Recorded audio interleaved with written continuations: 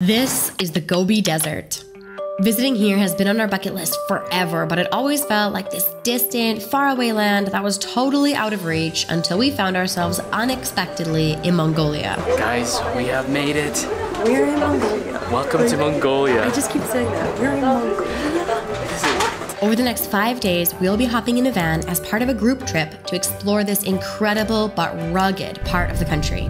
I have literally squatted in an open field and peed today because that's how few washrooms are here. It's for sure one of the hardest things I've done in a while.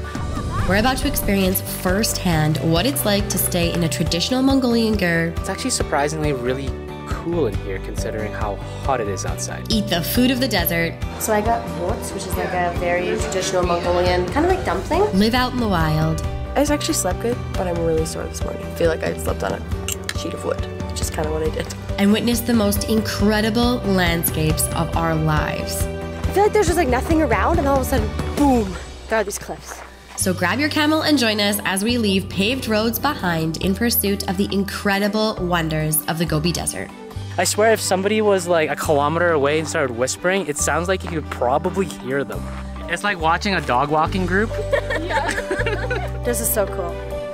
You gotta come, guys. Mongolia's where it's at.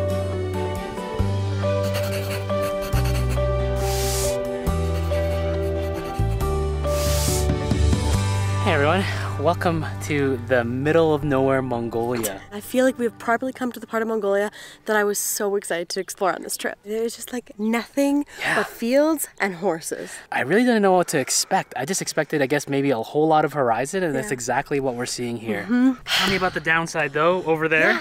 All right, guys. So the toilet situation. If you come and do this trip, like be prepared. Bring your own toilet paper. There's a lot of squatters, which is fine. Everything's pretty clean.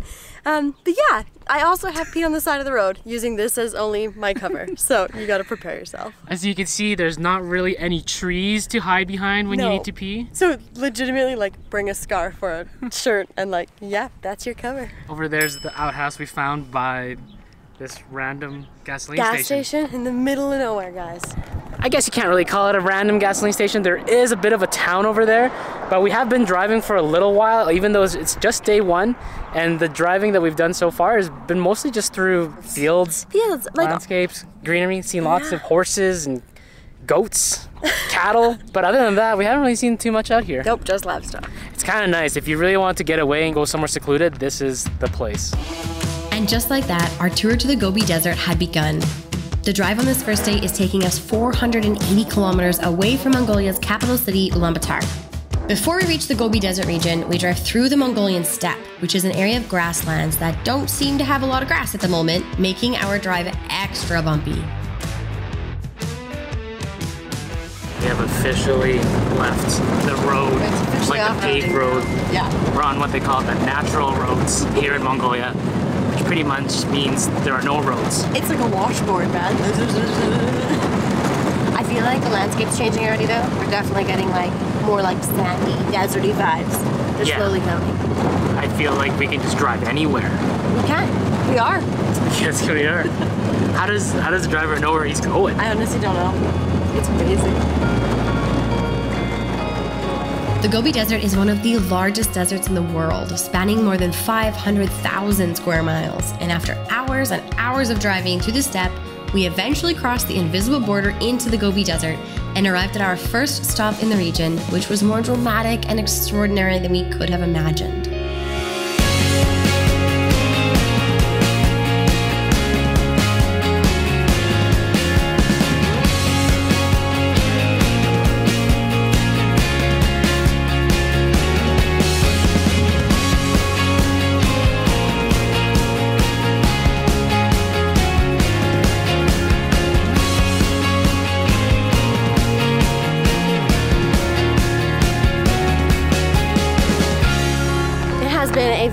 Full day of driving today. Yeah. But man, getting out, just like checking out like where we've come to.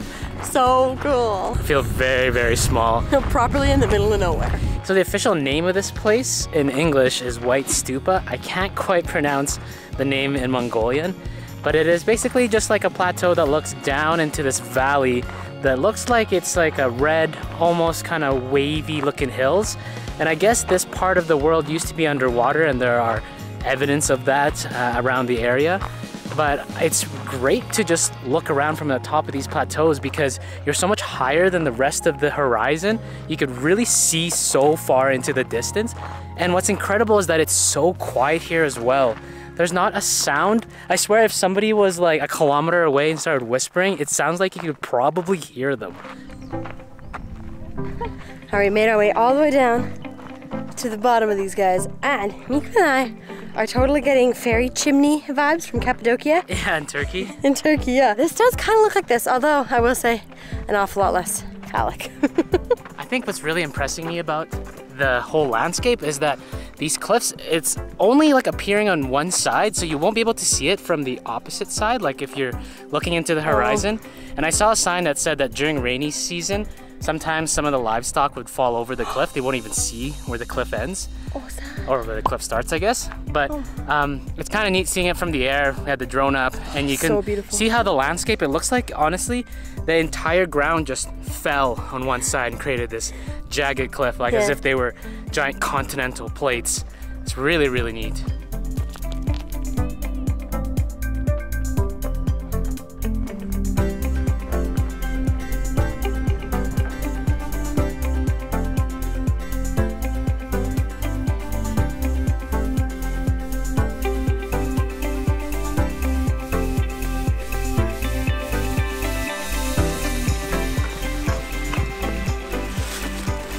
Looks like we found our home for the night. She's right there. All right, guys, let's show you our home for the night. You can hardly see me. There we go. This is a ger, a traditional Mongolian ger, which is like um, the type of house that Mongolians still use today, uh, the nomadic Mongolians. So this house is actually meant to be able to be moved to a different location at any time um, as the Mongolians followed livestock all around the country. So this one has five beds in it because there are five of us in our group here today. Mico's all settled in. This is awesome. This is the first time we'll ever sleep in a ger, Yeah, I'm pretty stoked about it. and we've got this for like the next few nights. Yeah. Um, yeah, super cool. First things first, though, uh, the bed is very stiff. Oh my god, it's hard. like it's hard. It's more than firm. It's actually But just it's rock hard. It's the full experience. honey. The Mongolian way. Otherwise, really cozy girt. It looks so small and squat from the outside, Yeah. but inside actually has a lot more room Yeah. than I expected. Like you can fully stand in this. what else do you need? There's so much room for activities here. They were also telling us that under no circumstance should you lean on these posts or the door frame. Apparently, that might topple the whole ger, so something we just have to avoid.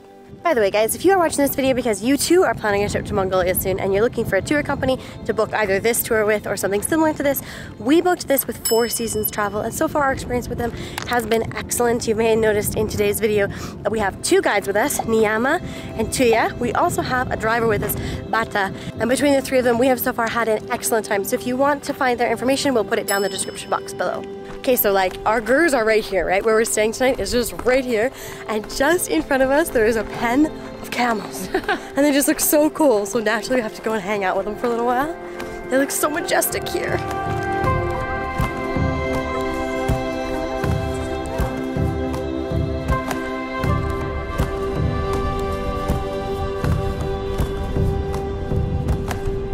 Seen camels in real life, but I don't remember them being this big. They've never been this big. They also got two humps, which I think is kind of unique. They're both looking at me like, who's this guy talking? Look, look, look how big his face is.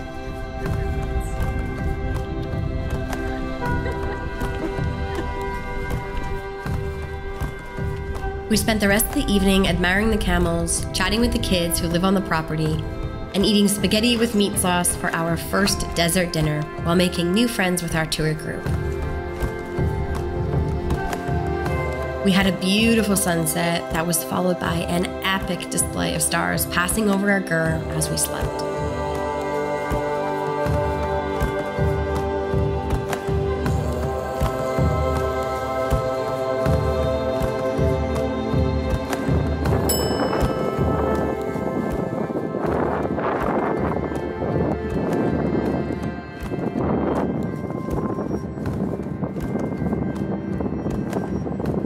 Good morning. I'm not exactly sure everything that's on my plate, but definitely egg, definitely bread, definitely cheese, and some veggies. we slept okay. I actually slept good, but I'm really sore this morning. Like I feel like I slept on a like a sheet of wood, which is kind of what I did.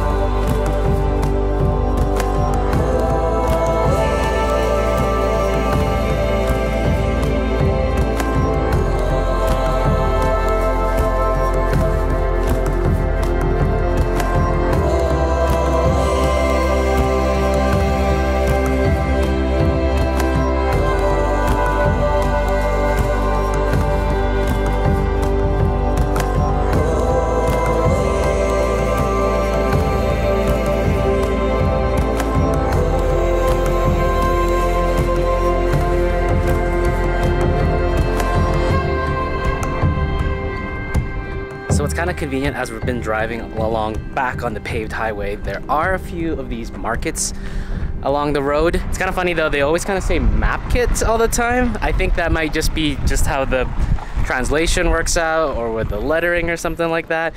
But map kit, if you see that, it means market. We're snacked up. Tissues, juice, coffee, extra snacks, all the necessities for the desert. There's also bottles of vodka there for like $8. So if you need some alcohol, it's pretty easy to find out here and pretty affordable too. Ooh. Ooh, thank you. A fun fact about Mongolia is that there are only 3.3 million people living in the country, but 70 million livestock animals. That's roughly 21 times more livestock than people. Through the window of our van, we were seeing camels, horses, and goats. And of course, the Mongolian landscape wouldn't be complete without seeing a Prius in the wild as well. After many hours of driving, we came upon this small city where we stopped into a local restaurant for lunch. Mico chose his favorite meat, eggs, and rice, but I went for something new. So I got buuz, which is like a very traditional Mongolian, kind of like dumpling. It looks amazing. Ground meat? I'm not sure if it's like lamb or beef. It could definitely be mutton here. Tomato salad. Ooh, it's good. Mm. It's still really soft. Like the bottom of the dumpling. It's still really soft. When it's very salty. The onion, garlic, this is really good. And now I have like 12 to eat by myself. So they have served us some Mongolian milk tea. So it's uh, very popular here in Mongolia. It is made out of milk, tea, like black tea, salt, and water. Looks like more like a microwaved hot milk. oh, that's interesting. it's uh, not as like milky.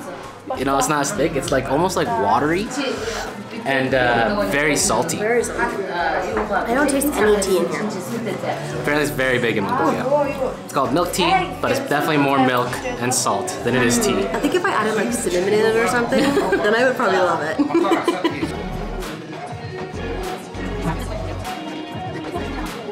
All right, we've been on the road another couple of hours just driving and driving along these incredible plains, just like nothing to see for ages. And then out of nowhere, we get to the Flaming Cliffs. Uh, which are stunning. They're mostly famous because they're a really cool um, archaeological site. There's lots of fossils here. I guess what made them most famous is that the first ever dinosaur egg fossil was found here. So that's pretty cool. So this has been turned into a national park and they just preserve the area and do lots of digs around here. Although the cliffs themselves here are very beautiful and really cool to look at. I think what makes this place extra special is A, that there's just so few people here. Like I think coming to a place like this and having like 15 other tourists is really cool. And number two is that like I feel like there's just like nothing around and all of a sudden boom, there are these cliffs. Mongolia can do that for you. Yeah. Nothing, nothing, nothing, and all of a sudden, amazing. Something amazing. Although, in some ways, the, the nothingness itself is truly what's drawing me to Mongolia right now. I agree. the expansiveness of, of of the horizon Mm-hmm, and just the fact that we could see so far. I swear I can see the curvature of the earth here from from here.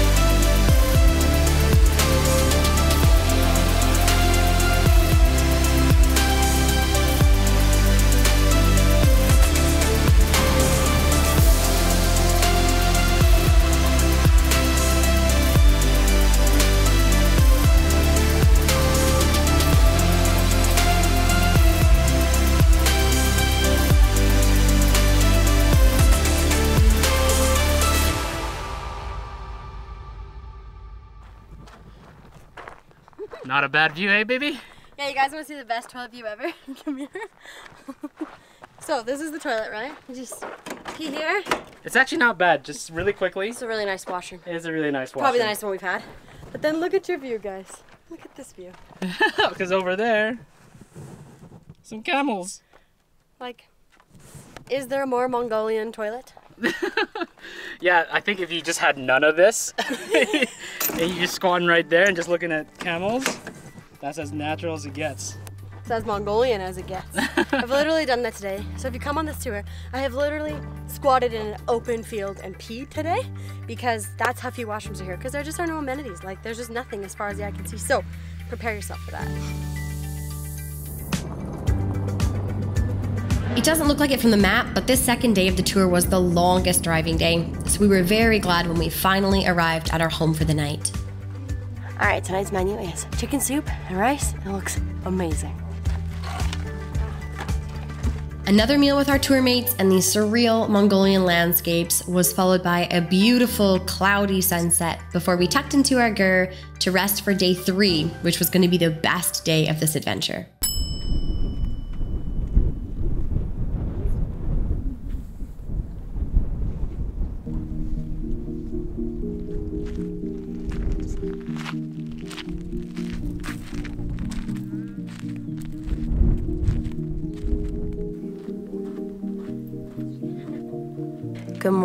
This morning we have got a delicious breakfast of egg sausage on toast. What do you call this again?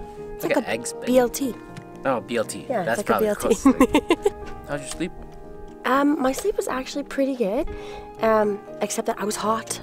Oh, it was hot last night. Yeah, it was hot. It's so funny. We packed for so many. Um, we packed so many thermals and For- sweaters and long underwear and stuff. We bought all Thought it was this. gonna be so cold. Yeah, we bought all this new stuff in Japan to warm us up here in the Gobi Desert, and it's just been so hot. I think in the middle of the night, I went. I woke up.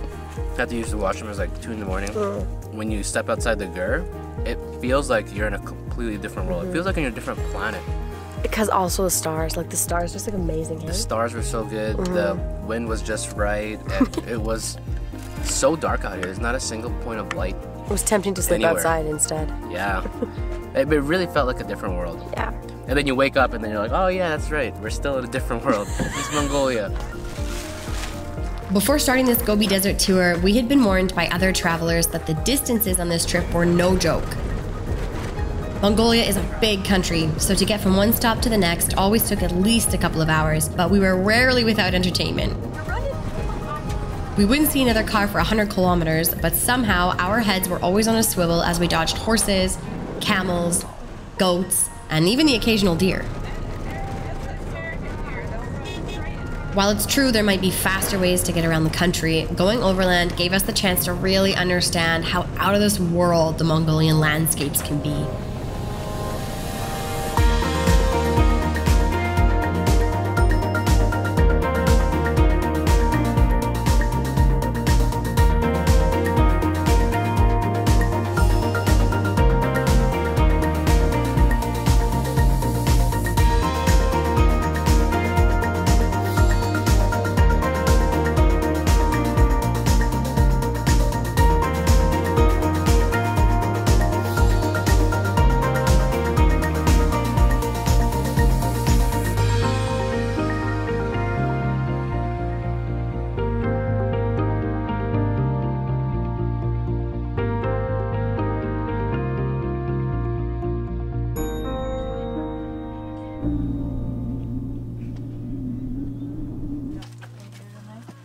We have officially made it to where we're staying today. This is our ger.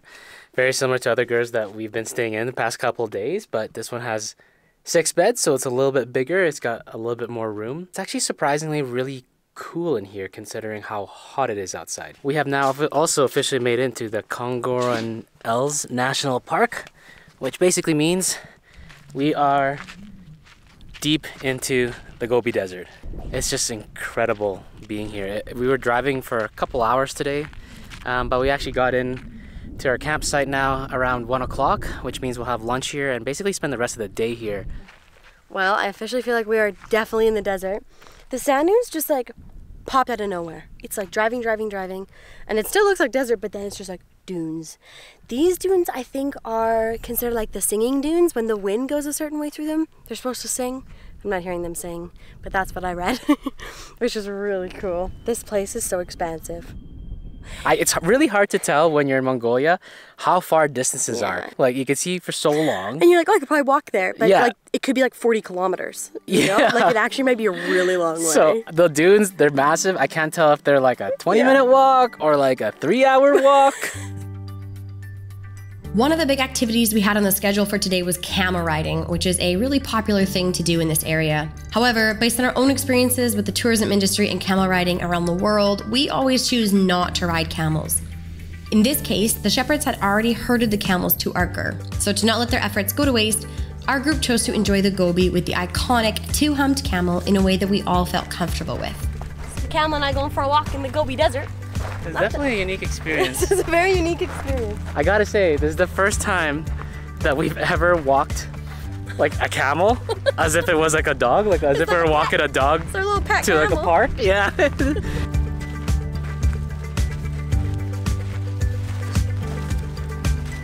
How do we look? I think we make a cute couple. Although I think he needs he needs a bit of a grooming. Yeah, you know, his skin feels a little like he's got eczema. I think he's a little on the dry side. Apparently, this is the time of the year where the camels are losing their winter fur. Yeah. So they lo- look a little bit shaggy. Mhm. I didn't know, but the humps are actually full of fat. So that's what Mm. they use as their store. I thought they were always filled with water. I know, but totally not true. No. It's full of fat. so they can go many, many days without without food. It's like watching a dog walking group. dog moms that were in LA. Casually walking our camels. this is how we do in Mongolia, you know? Oh, dogs love camels.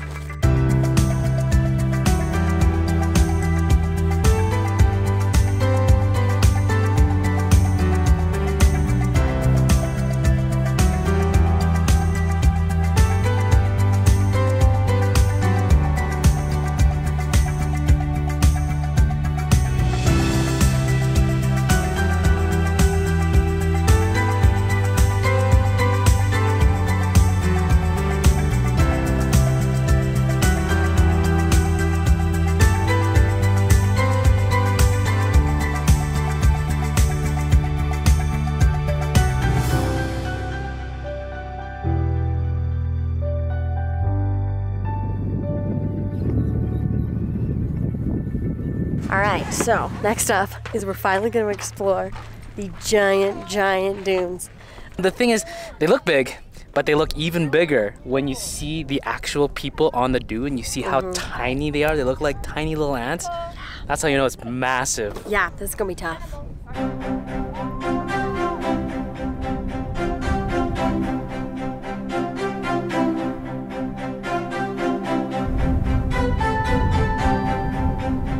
It feels like every step I take up is actually just effectively half a step because I slide down a little bit. So close, baby. All you have to do is go all the way up there. Oh my god. This is always so much harder than it looks. That's where we started. I cannot believe we're up this high already, but we have still so much more to go.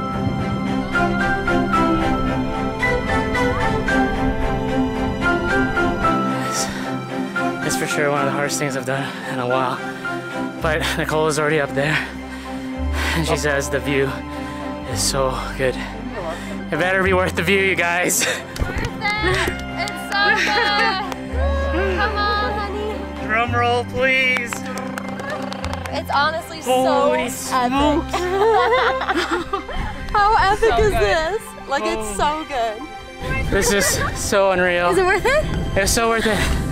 But I'm wondering if anybody else brought a tripod or is it just me? That's so bad. He's just got this like huge, Oh. heavy backpack of electronics, and it's this is a friggin' hard hike. This is absolutely screensaver as We have to, st- we have to stay for a while, I'm guys. setting this as my work Yeah, we have to see the colors. This is definitely one of those screens that comes up on like Windows, you know? Yeah, like, definitely. Yeah, screensaver of the day. It is so good.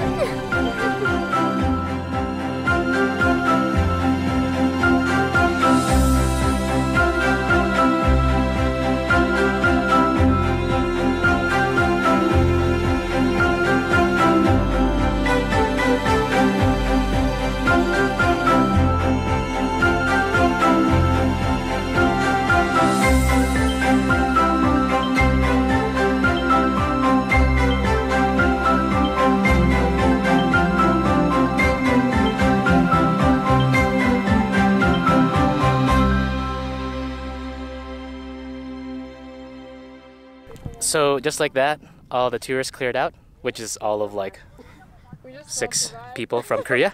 They're over there, but we have this sand dune to ourselves, so we're just hanging out, taking some photos. Feeling lucky. It is really, really gorgeous here, This and the sun is coming down. Like the dunes are beautiful. This is what you come to Mongolia for. Yeah, The place to yourself. you have a whole, pl- and as far as the eye can see on either side, Mongolia. But seriously, Mongolia. Actually, you know what's kind of interesting? I learned that only 5% of the Gobi Desert has sand dunes. So it's like hard to get here. Like it's really hard to get here, which is probably why there's just not a lot of people here. Yeah, I mean, definitely hard to get. Look, look at where we started, over there somewhere. Yeah. I think I could probably. There we go. Get a little bit. This is so cool. You gotta come, guys. Mongolia's where it's at. looks like cotton candy over there. I, the way the clouds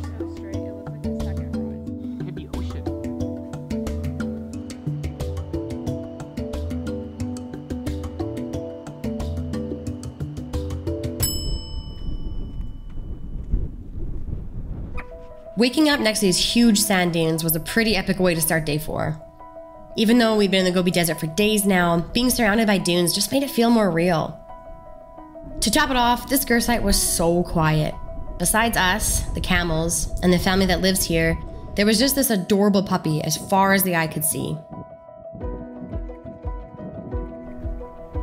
As magical as this spot was, we had another destination to check out that turned out to be totally different from our previous stops on this tour through the Gobi.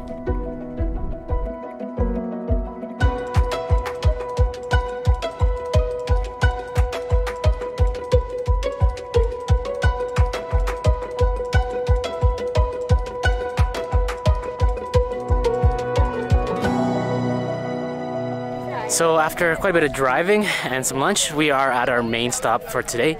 This is the Yol Valley, and Yol, I think, is the name of a bird here. But this valley has this trail right in the center, so now we're just walking the valley, and I think we got about a three kilometer walk ahead of us, and hopefully we'll be able to see some rivers and maybe some snow, they say.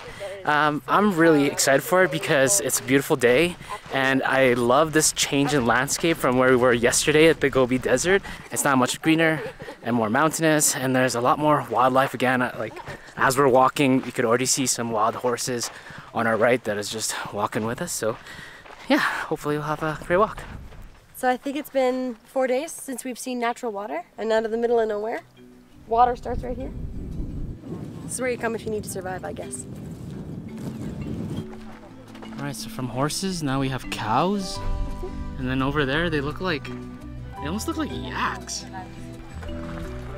We passed many yaks as we followed the stream of water further into the valley. The pass through the mountains got narrower and narrower until we eventually came to an area with a layer of snow and ice. Mongolia gets very cold winters, filling the Yol Valley with snow, and in the narrow caverns that don't get direct sunlight, it's possible to find snow and ice here year round. You'd think in a desert we would not come across snow or ice, and yet here it is. like you just can't get away from it. You know, I really feel like we're in Canada right now.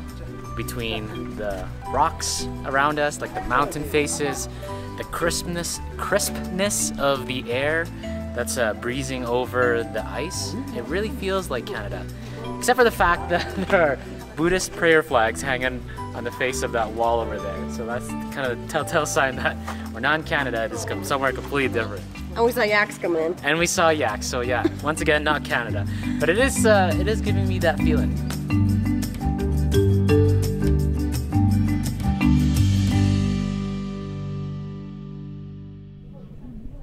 Well, the valley was beautiful, but we have made it to our last ger site of this whole trip, and we are going to round out our trip by learning to play the national game of Mongolia.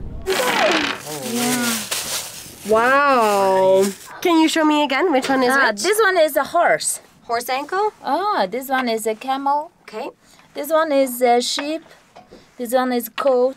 Goat. Ah, okay. Wow, they all look the same to me. We've discovered the object of the game is to get to the end of the ankle Mine's bones. that one's mine. To do that, you roll four ankle bones, and depending on the way they Oh, land, there's you no get to move horse. spaces forward. Okay. It's pretty cool. It's nice and simple. Nice and simple. It turned out the national game of Mongolia is essentially a dice game, but instead of dice, you use polished animal bones because they're easier to find this far into the desert.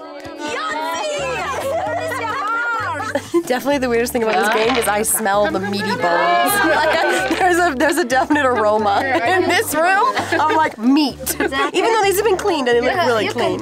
We didn't quite understand all the rules, nor could we really tell the bones apart, but somehow rolling animal bones and sharing drinks with our new friends in a ger was the perfect way to cap off the final night of this Mongolian adventure.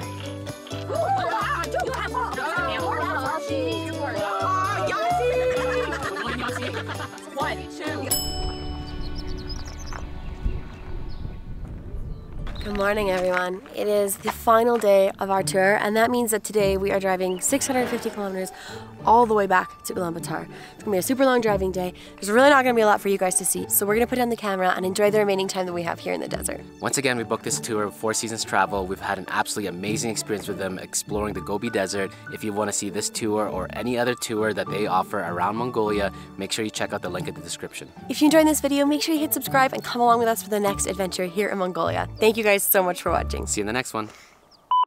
Also, okay, if you look at the camel like straight on from the nose forward, does this not look like Sid from Ice from Ice Age? Okay, so my camel's name is Sid because I swear, from straight on, we've decided that camels camels look like Sid from Ice Age. Hurry, boy, she's waiting there for you. Oh, I know this part now. Yeah. I've had good luck to drive me away. You have to put this at the end of your video. No, you need to put Mongolian throat singing. Oh. In your intro. the rains down in Africa.